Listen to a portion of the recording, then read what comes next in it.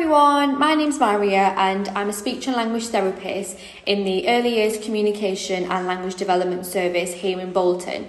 So today I'm going to just talk to you about an activity called What's in the Bag.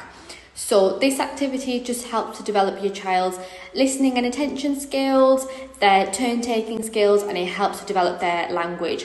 So for this activity all you'll need um, is a bag like this um, or you could use a box or even just an empty pillowcase. So you'll just need to collect between five to six objects or toys that you have um, around the house and pop them all into the bag and then just keep hold of the bag and try and gain your child's attention by either shaking the bag or you could sing the What's in the Bag song, which I'll demonstrate in the next video. Don't worry if you feel a little bit uncomfortable singing, you could just shake the bag, but just remember to keep really excited and interested as this will help to keep your child engaged.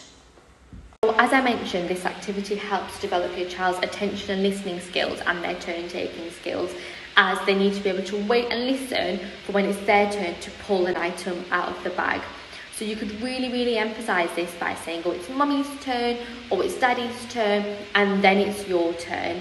And also, it really helps develop their language as well, as when you're pulling different items out of the bag, you can label them and then comment on the different characteristics um, of that item. For example, here we've got a car, so you're labeling that item and then you can talk about the different characteristics. So what size is it? So it's a little car.